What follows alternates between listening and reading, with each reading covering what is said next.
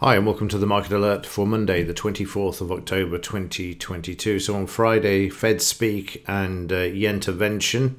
That was uh, the Bank of Japan supporting the yen, spot buying panic in bond stocks and gold. A smidge of uh, marginal dovishness from the Fed, so a hint that they were going to pivot, and a bazooka of pointlessness uh, and intervention by the Bank of Japan. Fed pivot signal yen intervention lifts risk and hits uh, dollar. Uh, Fed said to reduce hike increment from December. FOMC. That's what I've said in the market alert. So it would be January before you saw any uh, relenting of increasing rates in the US, if, or the pivot would be around that time. Japan intervenes, uh, yen hits uh, new lows. And yeah, it just continues, doesn't it? Uh, Darley says Fed interventions are not QE. Really? It's a bit like the Bank of England with its 65 billion, isn't it? And talking of uh, Fed and QE, Fed quietly uh, sends record 11 billion to Switzerland as dollar funding shockwave crushes uh, central central banks. Not hearing this in the mainstream, are we? Market stops panicking when central banks start panicking. So there's something going on behind the scenes. I have no idea what it is, but uh, there are these subtle hints here. We had six and a half billion the other week that were sent, and now 11 billion, unless um, it's a, it's a total of the amount that they've actually sent. But uh, either way, 11 billion is a lot to uh, support a bank. So something's going on behind uh, the scenes. But uh, there we go. Let's have a look at uh, economic news uh, for today. Well, it's Flash Day today. It's normally a Friday. Uh, the only other thing is Yellen's going to be speaking at uh, 4 p.m. there. Otherwise, you've got to contend with uh, all of the release of the flash news.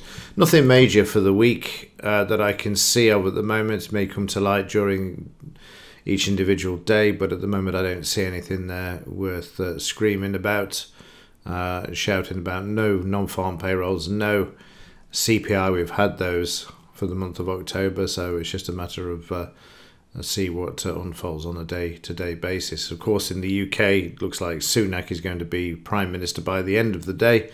That's going to lift the pound and uh, have pressure on the dollar. But other than that, not a lot. Gold silver ratio moving to the downside, uh, as you can see there, uh, which is good news. That means that silver is moving higher faster than gold. So let's get on with it and have a look at uh, Friday's session and what's happening on the overnight. We'll kick off with uh, the Dow Jones. So in the Dow on Friday, you can see a massive move to the upside on this uh, Fed talk of pivoting and also the Bank of Japan intervening to support the yen. Massive uh, 1,058 point uh, move in the Dow there and uh, up on the overnight, but coming off the high on the overnight. So let's look at that in a bit more detail. Friday, you just see the market uh, career to the upside, uh, no red bars whatsoever, just any excuse to move the market higher. At the moment, we're sitting on Friday's high as well. That's become support. Expect the market to continue to the upside, and I'll show you why in just a moment. As uh, we see a bit of a, a retracement there, we're oversold in the 30 minute as well, so uh, expect an up move in this market. And let's have a look at the DAX, and I'll show you why I believe the market's going to move higher. And in the German DAX, uh, we can see that we've got uh, a gapped up on the open bar for uh, the overnight. But Friday, the market also moving higher. Stuck at the 62 at the moment. We tried to jump over it overnight, but uh, failed and came back. In the 30 minute chart, the gap has now been filled, and once the gap is filled and we can sit on the high, the market's free to move back to the upside as well. We've only got that uh, flash news. Uh, otherwise, the market uh, free to uh, continue its move to the upside. Uh, if I can just find the daily chart again, there we go. So all we've got to do is take out uh, the high to the left here uh, which is uh, 12935. It loves that 13,000 in the in the DAX. So 13,000 is where this market uh, wants to go to. In the five minute chart uh, for Friday, you can see that uh, the futures market uh, was sideways to higher. You can see the high there, and then moved up in the cash market to the DP, closed back below the 200 MA, and then we had the sell off, the market trading sideways until the Dow opened, and then we just never stopped moving all the way through the final part of the session and then on into uh, the evening as well.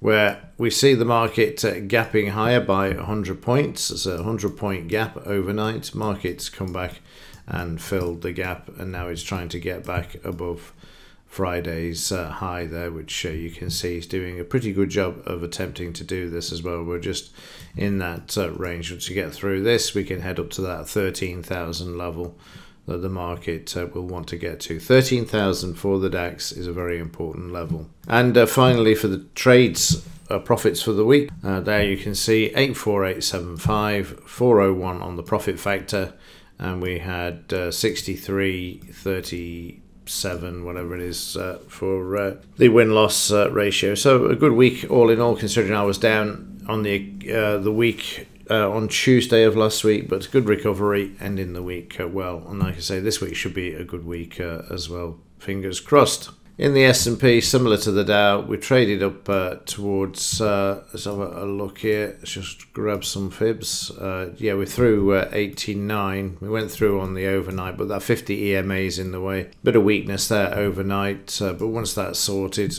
and the high becomes the support, then uh, the market will be free to uh, move off that high. It's very important the market stays above the high. That's going to be the determining factor this morning when the market opens. Needs to stay above the high. It's looking bullish, but uh, failure to hold against the high and above the high will um, see prices move low. But again, Thursday, uh, Friday, we see the market uh, moving sharply to the upside there. FTSE also uh, similar to the DAX, gapping higher in the 89% uh, area, filled the gap. The market's now free to uh, move to the upside as well.